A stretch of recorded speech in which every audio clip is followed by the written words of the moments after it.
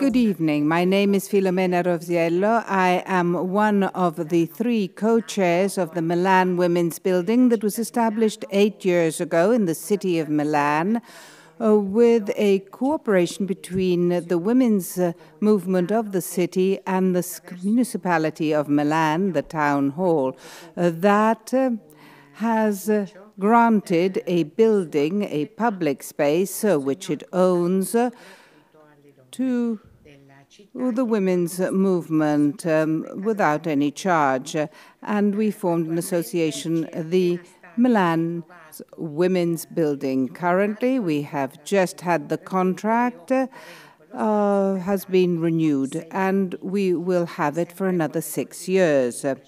At the previous conditions, the Milan's Women's Building currently has about uh, 500 members, uh, including 150 who are very active. Uh, the main services that the Women's Building offers are a an information center that uses a database and sends women to the services that the city offers either free of charge or very cheaply. The information concerns psychological use of the fighting violence against women, um, abortion, and house. Very often, all linked to violence against women. The second one is a library, which is part of the National Librarian or library system uh, that has uh, essays and books uh, written by women on the women's movement's history. Some of them are very difficult or impossible even to find because they're out of print. And there's also your book, the Boston Women's Book, amongst it, and also a section uh, which is uh, novels by women. Uh, the other thing is that we organize is Italian for migrant women, that is part of the network uh, for women who are here without a permit, uh, because as well as teaching Italian, we also have music, uh, drawing, and also we tour museums and exhibitions in the city, as well as cooking, which teaches cooking or exchanges recipes amongst women from various parts of the world. Then we have a cooking section, uh, which is called ethical cooking because it is based on no waste, no plastic, and uh, it is ethical because it does not use uh, any meat nor fish and uses produce that mainly comes from women's uh, farms. Then uh, the women's buildings also has a cultural side to it, cultural events that have to do with book presentations and other topics uh, that are debated in various texts. Or alternatively, we have proposals and discussions on the most uh, important topics uh, of uh, the current situation. Recently, we also discussed uh, the report that discusses the relationship between women and institutions, and that's my introduction.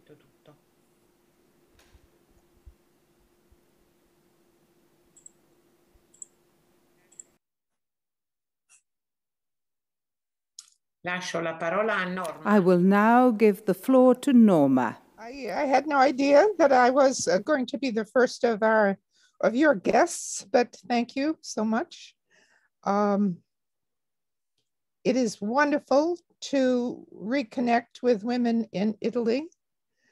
I do think that uh, the Italian uh, feminist movement, as it was, and the Italian Our Bodies Ourselves, um, as it continues to be, is one of the more successful of the adaptations um, of our English book, particularly the 1976 edition, um, which, as I understand it, went to 22 printings with Feltrinelli and also um, has continued to be in press in a, in a Euro version that is still selling.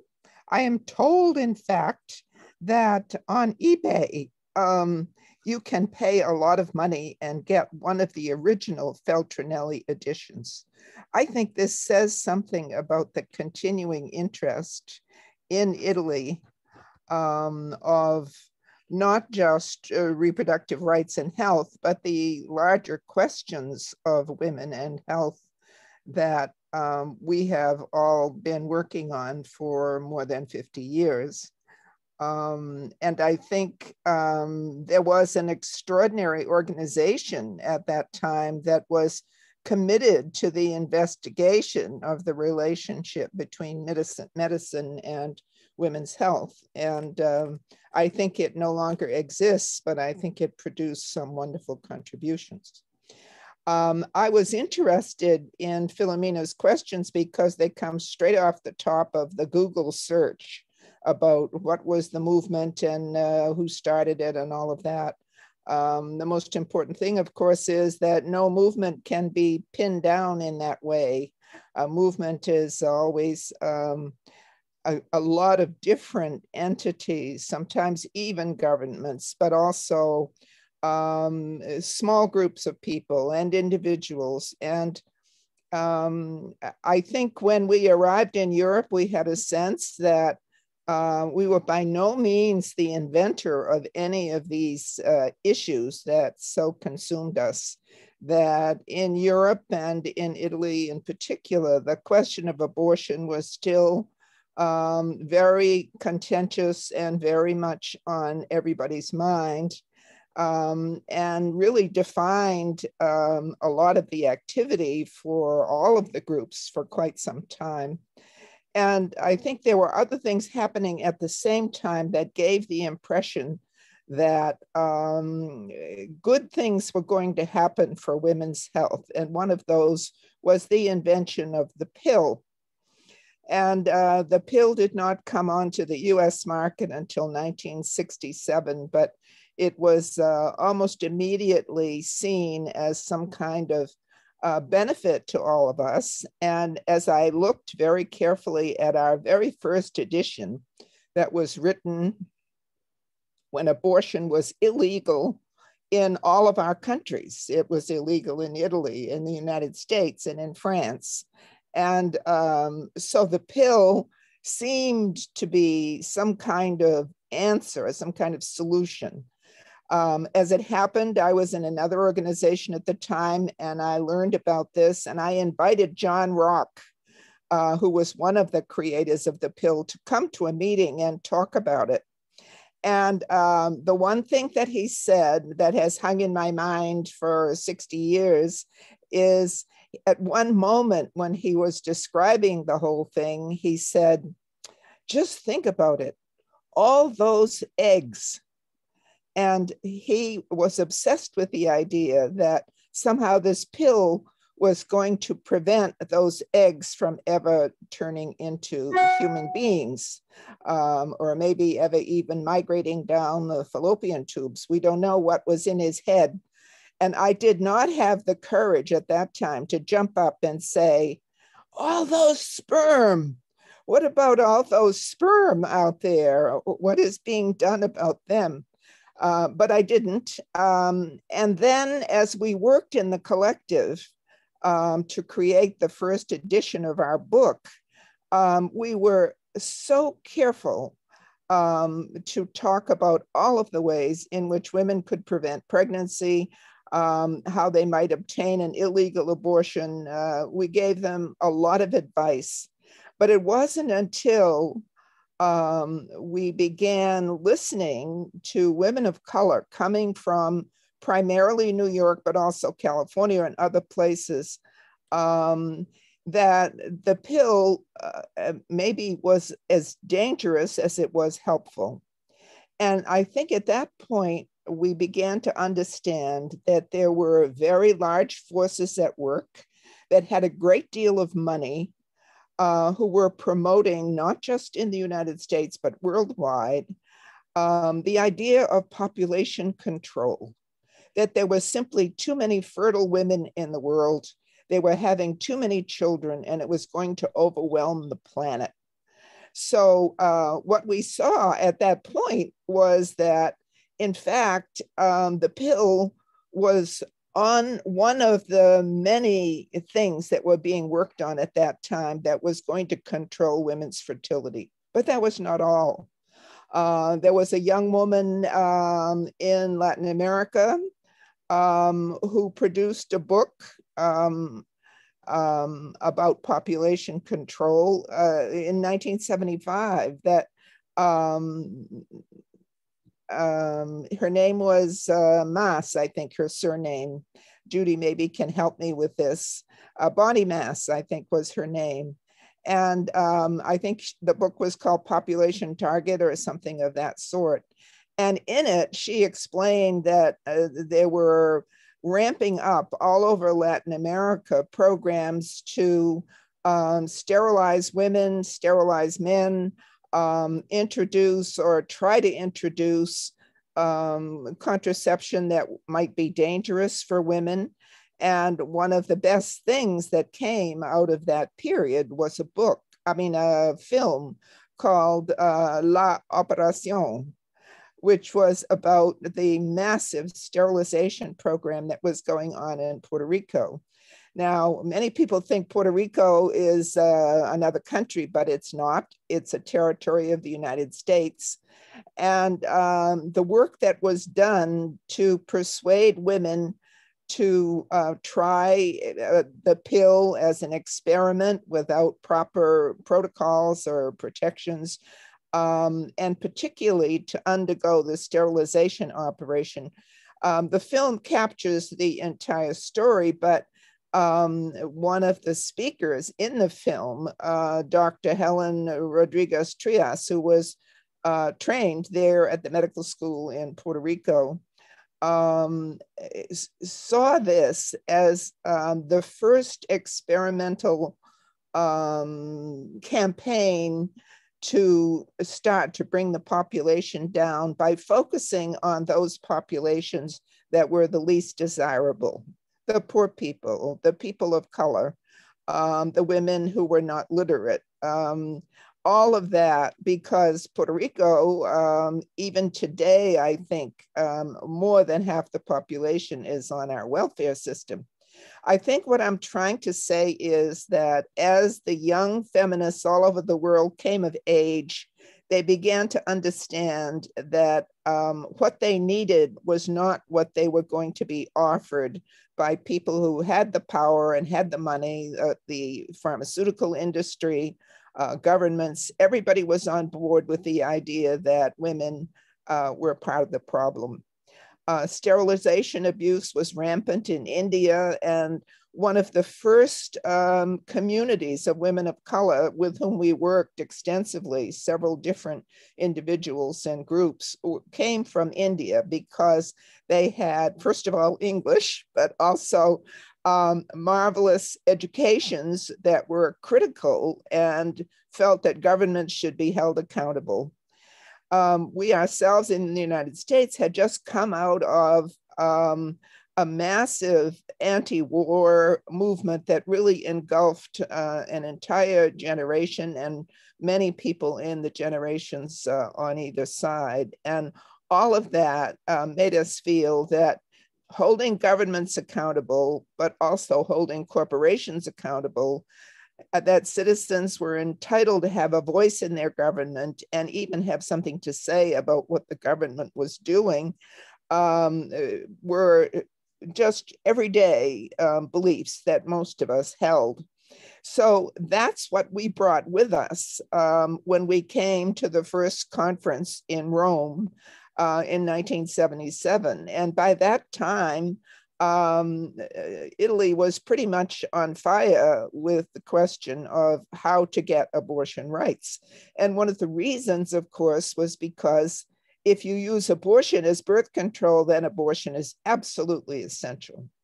Um, and each decision that you make is bound up with that reality.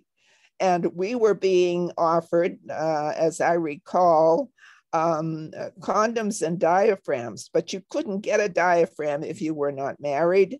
And um, if you trusted a man to have a condom, that was wonderful. But if he didn't have one or didn't feel like using it, or you could not persuade him to use it, then you put yourself at 100% risk. So this was a world, uh, and we were all part of it. And as this generation came of age, there was the sense that we deserved something better, that all women deserved something better, and that we could begin with something like abortion.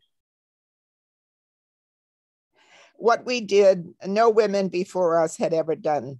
We spoke frankly about our sexuality and we wanted to reclaim it from the psychiatrists and the churches and everybody. And we were the first women to ever take on the drug industry, pharmaceutical industry worldwide, and also the medical profession, because many doctors were being trained by doctors from other countries, but most of them felt they had to come to the United States. So we took on all of that. And that's what the beginning was of the women's health movement, I think. Okay, so I guess I go next, and I want to thank everyone for inviting us to join you, Filomena and Vicky.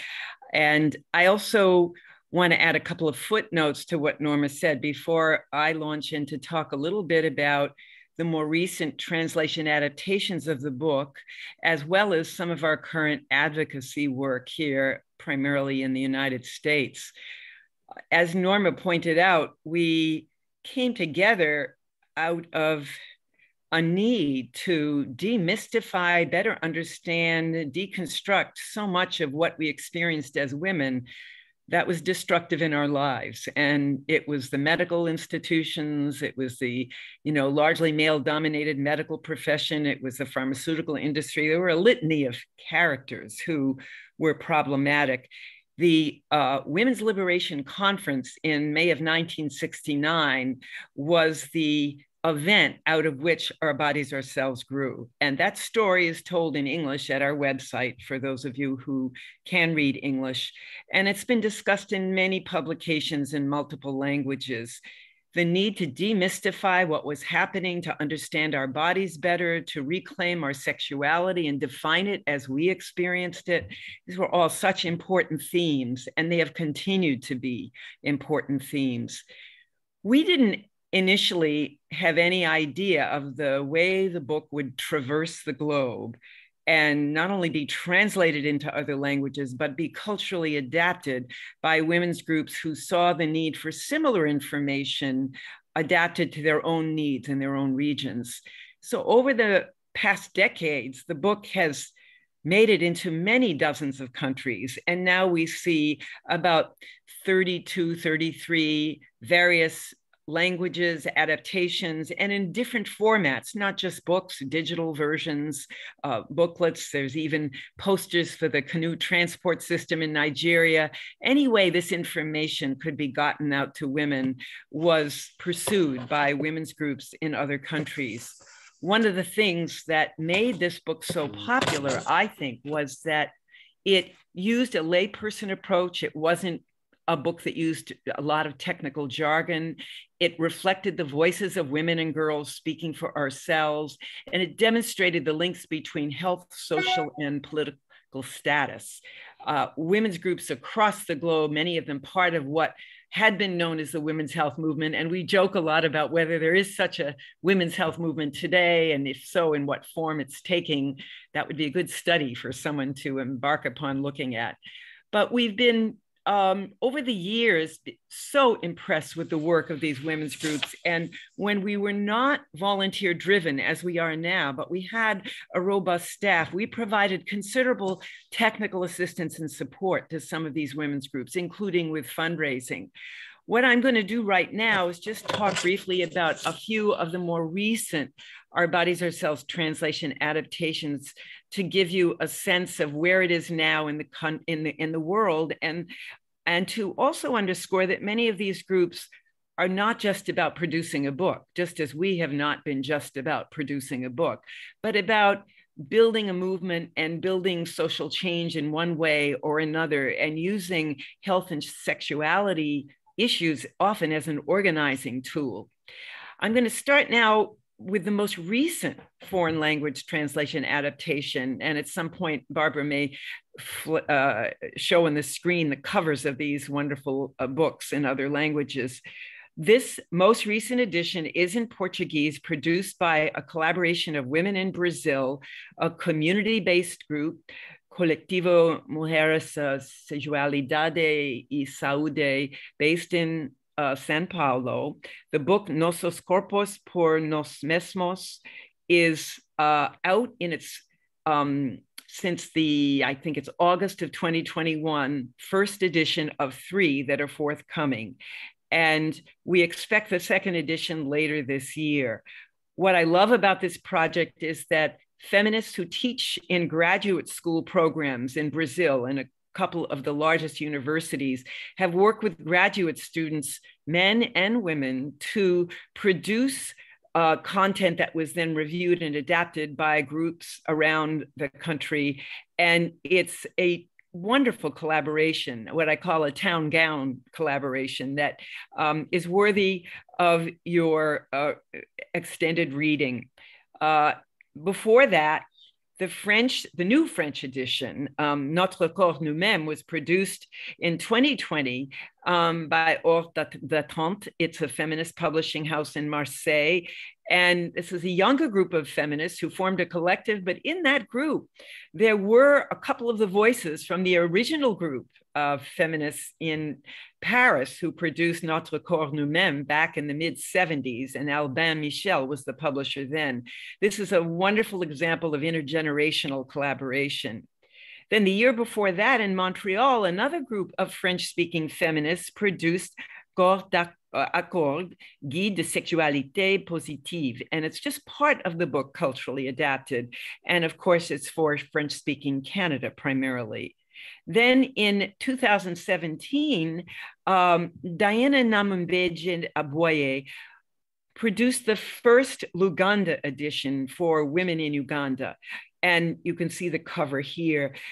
Diana uh, moved to the United States as a, a, a young adult and she became a nurse practitioner. She is quite an amazing individual and is now on the board of Our Bodies, Ourselves and hoping to assist uh, a colleague who is also uh, trained as a nurse in northern Uganda to produce a similar volume in Acholi for women who live in northern Uganda. And uh, she herself has been engaged in a number of activities, many of them COVID related. But this uh, example of a translation adaptation produced by someone who came to this country, was introduced to the book by one of Our Bodies Ourselves most uh, treasured advisors, uh, Dr. Ruth Hubbard, who died some years ago. Uh, and it was just a chance connection that introduced um, Diana to the book. It was through Ruth Hubbard. The Vietnamese edition appeared in 2014. You just see one of the three covers it was a three volume edition, and it did get some support from the Ford Foundation. That was a, a wonderful collaboration as well. In 2008, WOREC, a group based in Nepal, in Kathmandu, a group that primarily worked on violence against women, but many other women's health issues, produced six booklets that were distributed into rural regions of Nepal as well. In Armenia in 2010, Mer, uh, Menku Mermarmina was the um, second edition produced in that country. The first one appeared in 2001. And we continue to collaborate with Dr. Mary Hachikian, who um, worked on this edition and has continued to work on women's health issues in Armenia and in Europe. In 2004, there appeared the first French speaking a French edition for French-speaking women in um, in uh, Africa, and this came out of Dakar, Senegal. Uh, Codou Bop, one of our close colleagues, was one of the um, co-producers. Uh, it's an amazing book. It was reprinted, and it is probably ripe for an updating right now. In 1988, there was the second Japanese edition. Um, the first edition was in 1975. In Korea in 2005, uh, women produced an adaptation. And I do want to mention that the 2000 Spanish language adaptation produced in the United States, but in collaboration with more than a dozen groups in Latin America, might well be on its way to an updated version, whether it's digital or print, we don't know. But that was a very important collaboration of women in multiple countries. And then I thought I would just add in this um, Chinese edition from 1998.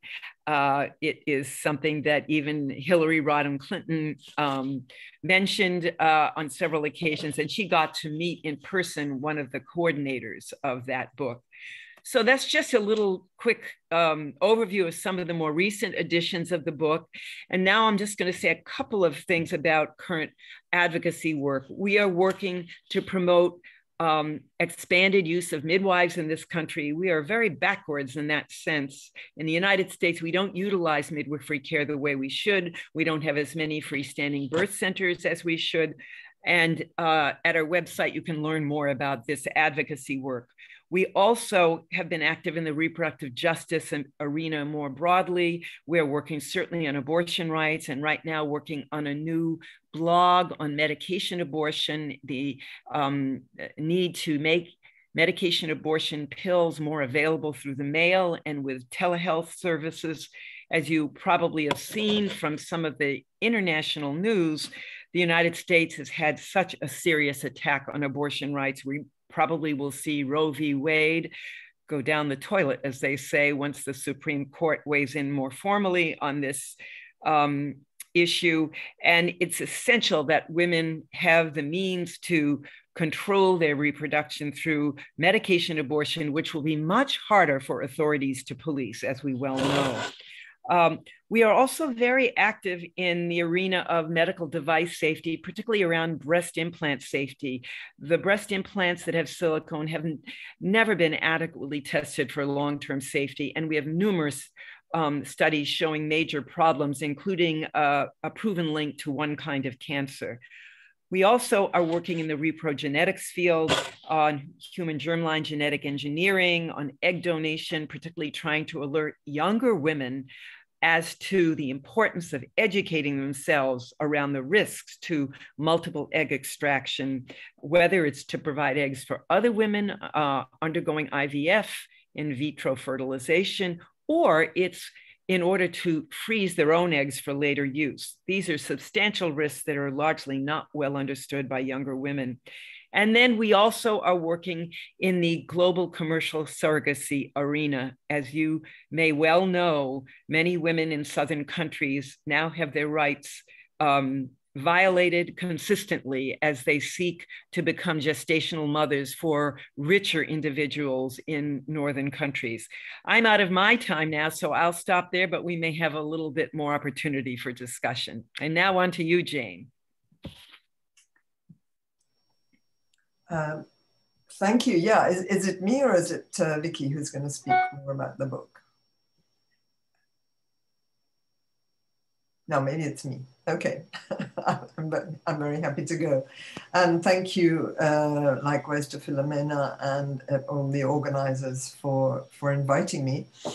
Um, I think I'm here because uh, of the, the long collaboration that uh, ISIS, the International Women's uh, Information and Communication Service, uh, which I helped to set up, uh, has had with the uh, with Norma and Judy and the um, Boston Women's Health Book Collective.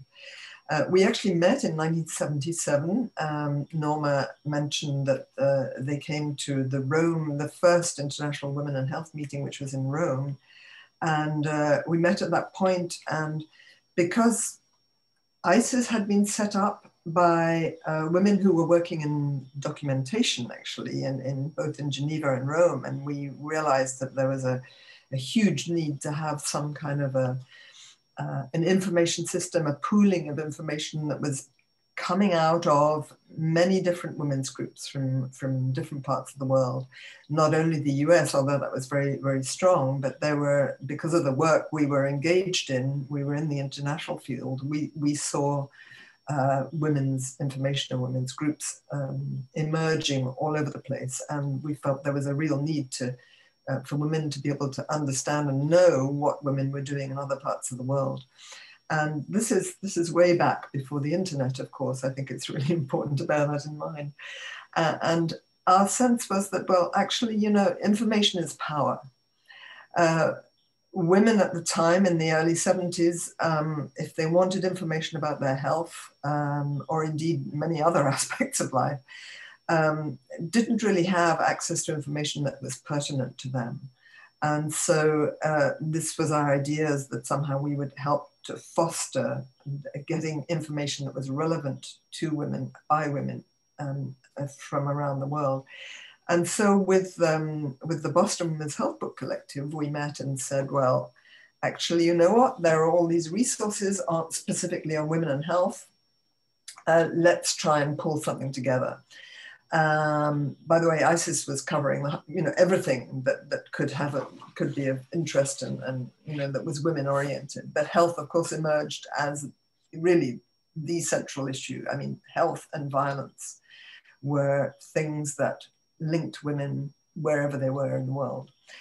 Uh, so um, it, it, has been mentioned this, and, and no doubt we will um, put this online later. But this is the this is the wonderful guide that um, the Boston Women, well, mainly Judy and Norma and, and Isis put together.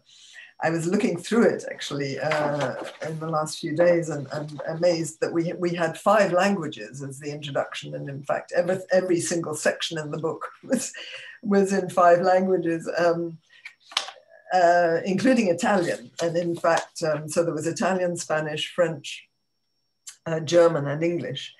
And uh, okay, there's the introduction of the book, and then I was noticing that um, uh, we, we had one article at the beginning in, in each language taken from a different women's group.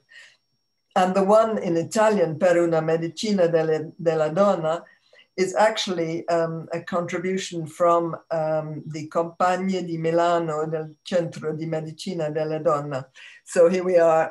it was where here we are. Um, how many? I can't count the numbers. This was this was uh, published in 1980s, so we're here. What 50 years later? Uh, no, 40, whatever. Uh, anyway, I thought that was really interesting, and and, looking at the, the the book, of course, I mean, we were using whatever means we had. I mean, there was no computer to, to even do the layout properly. So, you know, we were doing it on our, on our typewriters and, and, and doing layout and getting it printed like that. So um, this, was, this was our first collaboration. But we went on to do a lot, um, especially related to the International Women's Health Meetings, um, of which I don't know whether it'd be nine or 10, I count nine anyway. After Rome, there was one in Hanover and then there was the one in 1981, which was the third International Women in Health meeting, which uh, ISIS uh, organized together with the Dispensaire des Femmes, which was a, um, a self-help women's dispensary, a, health, health center in, in Geneva.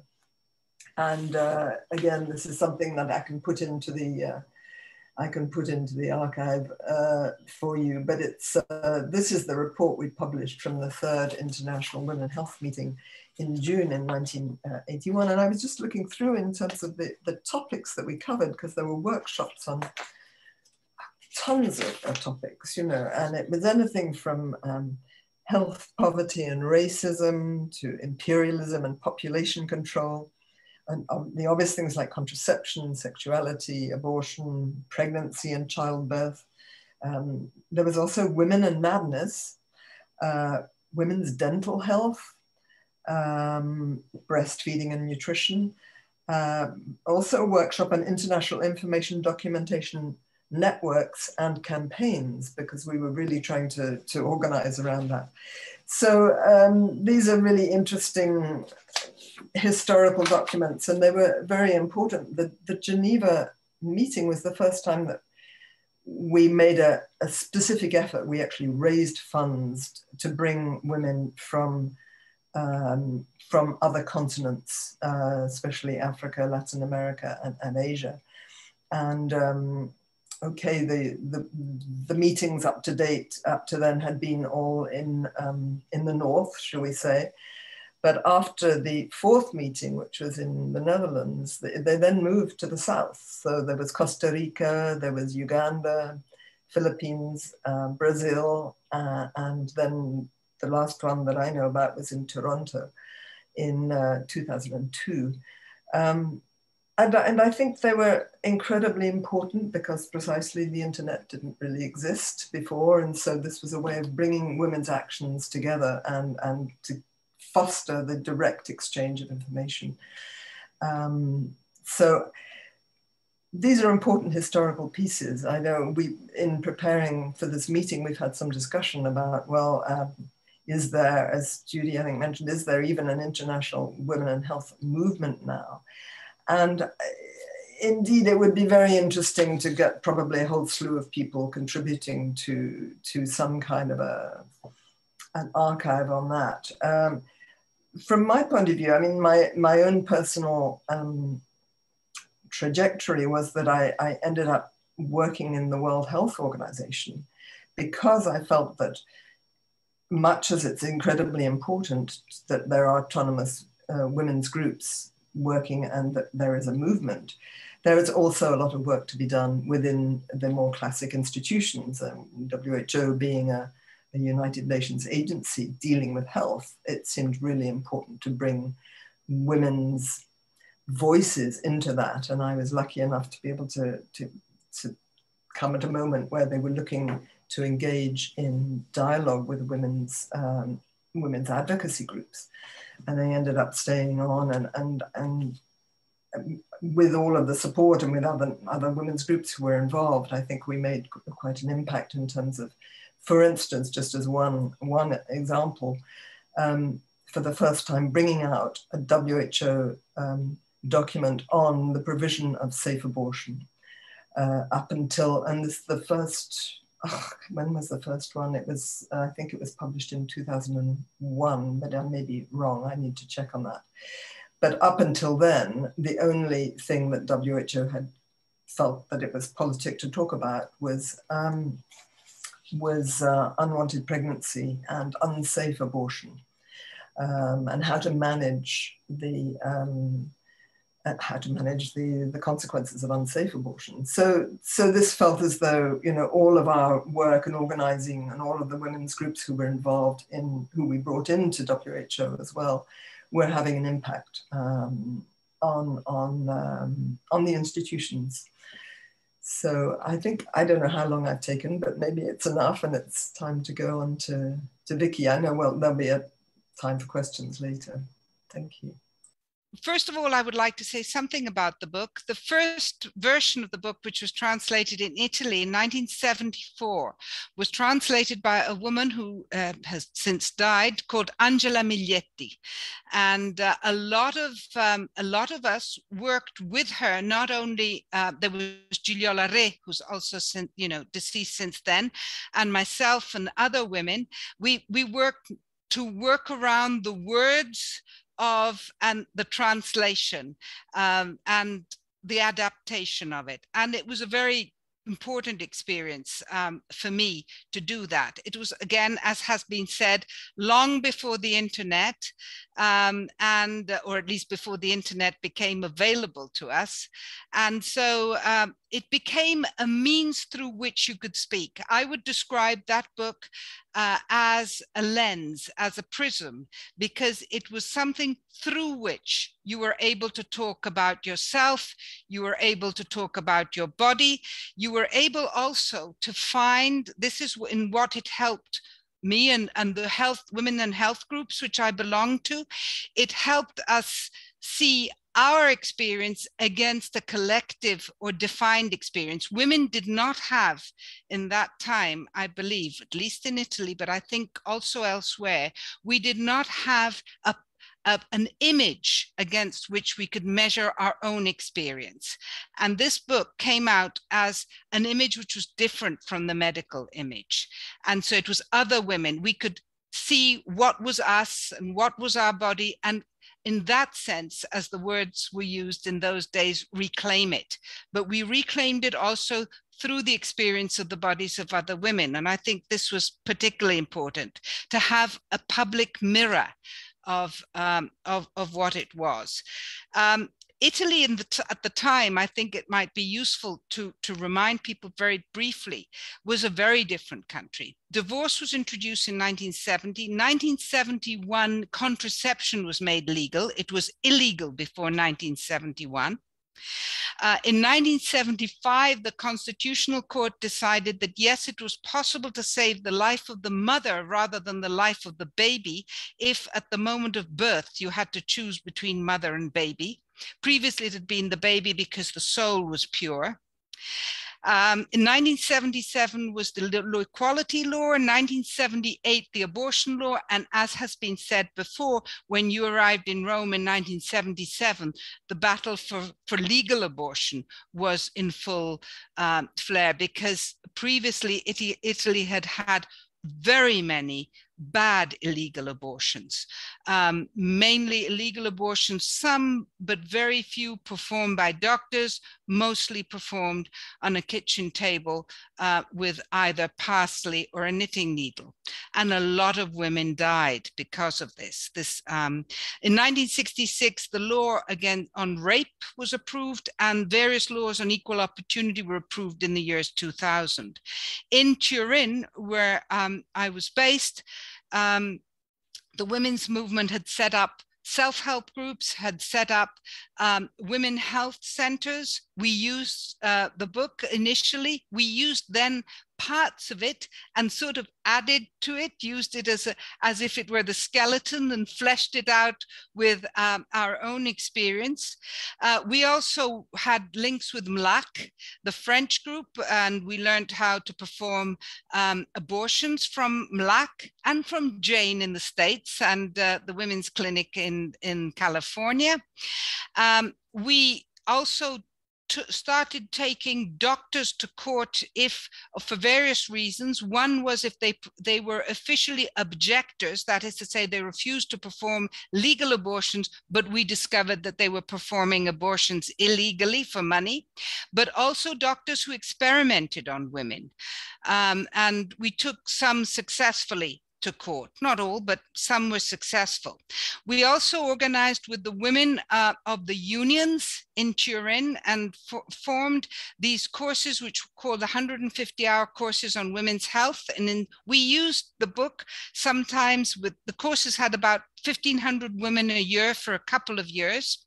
And um, we, uh, we used the book. Sometimes it was too difficult. We had to even simplify it from then because a lot of the women who came from the factories in those years were not illiterate, but semi. Italy brought up a compulsory education from 11 to 14 only for those born after 52 and it was those the women who were much older had only had two years compulsory education. So there was a problem of doing we had self-help groups in the middle of these groups. And it was we uh, we also used a lot the pictures. The pictures from ourselves and our bodies were very useful. We, we then used others too. We, we developed our own. But what I would say is that um, I would like to thank you. I would like to thank you very much. One can always say someone else would have done it, but no one else had done it. And so you did it. And the fact that it existed, it was like a stepping stone or like a trampoline. It enabled us to do things that maybe we would have done, but maybe not, or maybe not in the same way. So that's how we used it um, in Turin and in a lot of other places in Italy because we were coordinated. So I know that uh, a lot of, for example, we, the women's health centers, we ran our own in Turin. Not all the cities had the same history until the legal ones were open, until the health service opened its own um, health services uh, or, or, or health, women's health centers. Uh, and that was after 1975. So um, thank you very much. Eccomi. Hi, I'm very happy to be here, even on a train. I hope you hear me well. And then I will switch to Italian because I know there is a translation. So, um, sorry. First of all,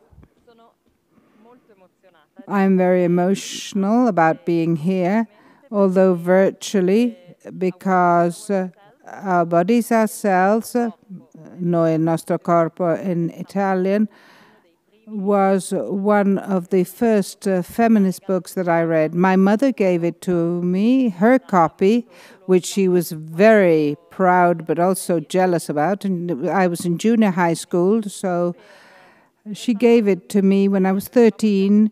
We'd already discussed it, but to help me and prepare me uh, to my first period.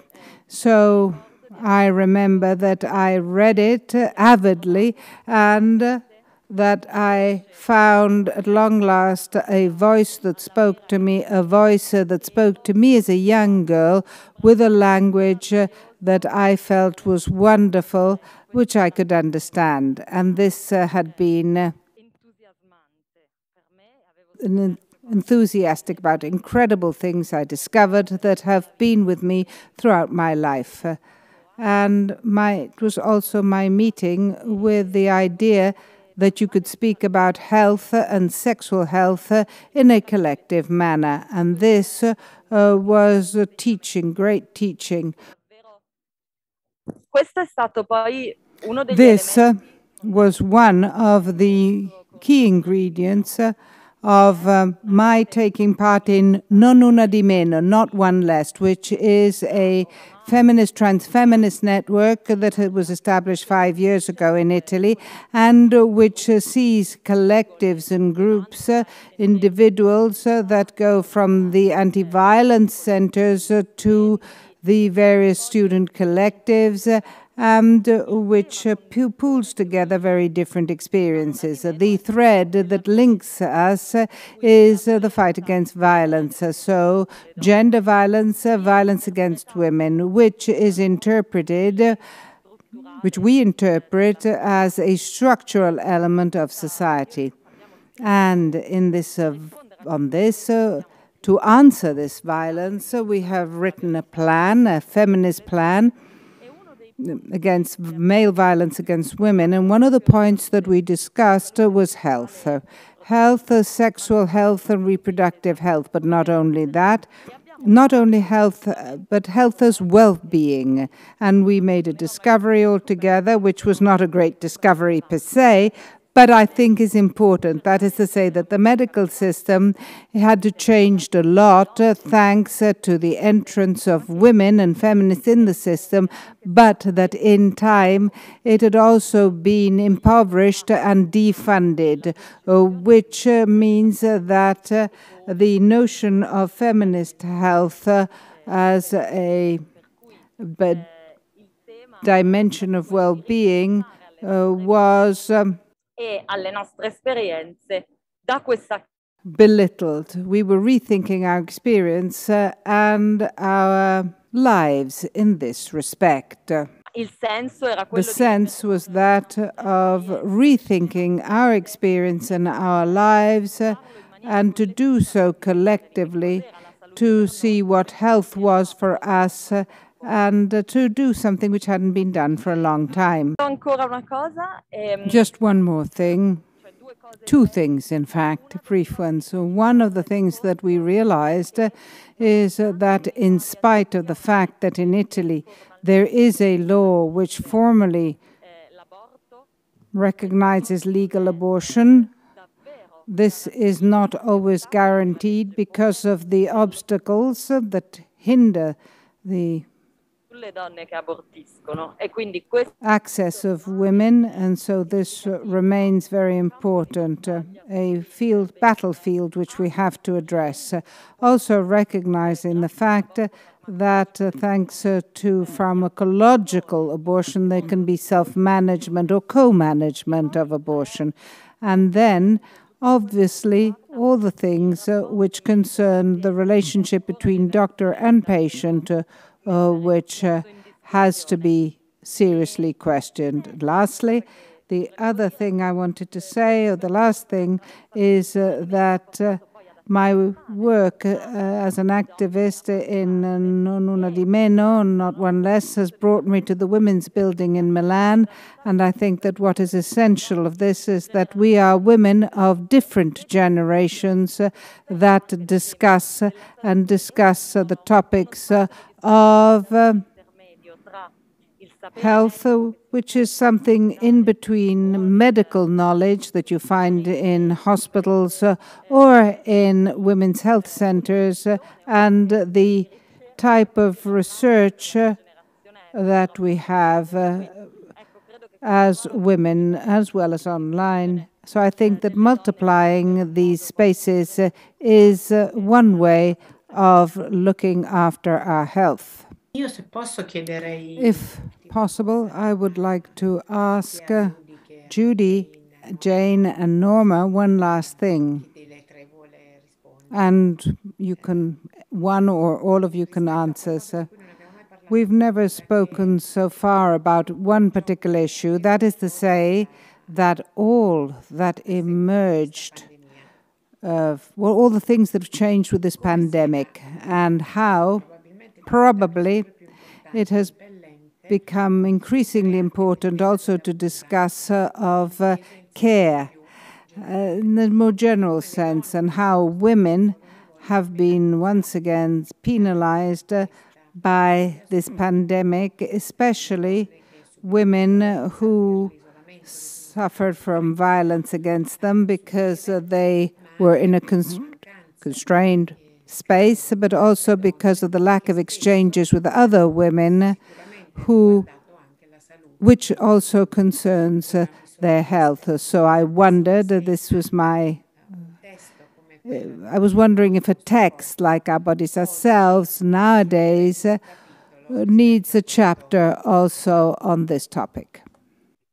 I think eh, what we come up against at this point is who has access to the kind of technology that can combat the isolation and that can improve communication.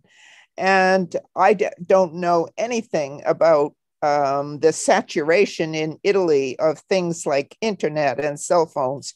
I think it's pretty good. Having been in San Pancrazio, I can say we only had one evening when we didn't have any internet. But um, in in other parts of Italy uh, or in other parts of Europe, it seems to me that um, it's a, a privileged technology for those who have privilege. And if you don't have the privilege, you may not have access to the technology that could allow you, for example, to form a neighborhood group, um, even if you couldn't leave your house. Um, and talk, um, if not on the telephone, then um, maybe um, on on video. I mean, the mechanisms to create these opportunities are inherent, but somebody has to start the process. And we also have to address at the same time, clearly, um, and we have it in our own country, the lack of access of many people in rural areas and in poorer communities to the kind of technology that would allow them to do this. But it's changing, just not fast enough um, I think I see that as um, a tool of the future. Um, as and as I look at um, our fabulous guest that we just heard from and see her in her mask, I think um, one of the things that we have the opportunity to do today is to look at each other's faces as we're speaking and, and not be uh, all covered up. So the potential is there, but the initiative, I think, is the thing that is the most difficult part. And um, where women of courage come from is a story that um, deserves separate investigation, but it really only takes one or two. And um, I think uh, our our guest is an example of one um, who feels that she is um, going to exert the initiative to make it possible for women to work in groups even if they can't sit with each other. But the um, primary issue that you raised of where our labor is being spent and how much of that labor is being given away and uncompensated. This is a very old story. And I can remember some of the very good work that was done by the UN uh, some years ago uh, one uh, annual report on women did it and then they never did it again, but how women are spending their time. Uh, I think female labor is the most precious resource on earth. And most women don't value it because the people around them simply take it for granted. And um, it is it is a hard place for poor women to begin to say, I am working too hard and somebody uh, needs to help me, or I'm going to get into a collective of women who are going to help me. I think these kinds of gestures have a lot of social pressure against them. And how to break that pressure, somebody has to take the lead. Okay. I'll just add to that that we have seen uh, obviously a differential impact of COVID on women's lives. If you have resources, if you have money, you have been able to survive typically um, much more than women who don't have those resources. But I will say that amongst the women who have had resources and who have had to work uh, via Zoom, there has been a tremendous amount of Zoom fatigue, both not for themselves and for working with their children, because schooling was required via Zoom for so many for so long. And the um, competing, uh, requests on your time from family members, from work, from your spouse, that those really took a toll. So that now in the United States, we're seeing something called the Shecession. And our International Women's Day event next week on March 8th is entitled the Shecession, where women are going to speak about how so many women are exiting from the paid workforce. They're still providing immense amount of labor, unpaid labor, as Norma just pointed out but many just cannot continue. They are just burned out and they're not even sure how they're going to make ends meet. But for some of them, they have had to leave the workforce. And it's not clear how uh, further down the road this will have an impact on all of us, but it's a reality. And obviously, frontline workers, women who've been in the healthcare um, field have been strained beyond belief. We have had an, exodus of nurses from the nursing workforce. They're just totally burned out and they have left. And some of them are older, they don't have any intention of returning. Um, but the, you can imagine that the need for nurses, which has always been there, is now only escalated. Um, I, you know, I don't think we know fully now the impact of COVID on all of women's lives and children's lives. I think it's going to be uh, long-standing, and I think it will be harmful, especially for some of the younger children who didn't have those face-to-face socializing experiences, which are so important in your formative years. So all of this we have yet to learn more about.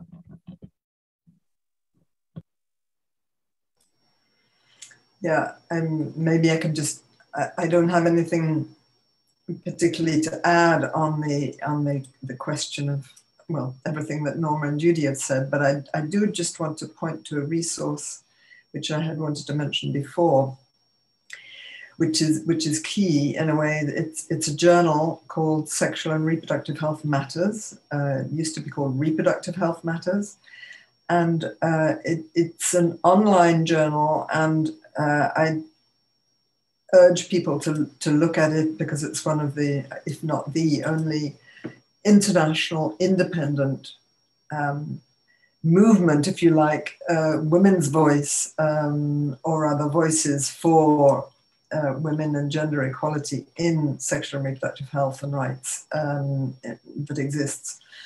And just typing in COVID, there I see that you know there are a number of articles recently that have been um, focused on how people are coping or the, the impact, first of all, of, of the pandemic on sexual and reproductive health. Um, adolescents, um, incarcerated women, couples, contraceptive behavior, um, uh, safe, accessing safe abortion services, all the difficulties that this is proposing that is, this is posing, sorry.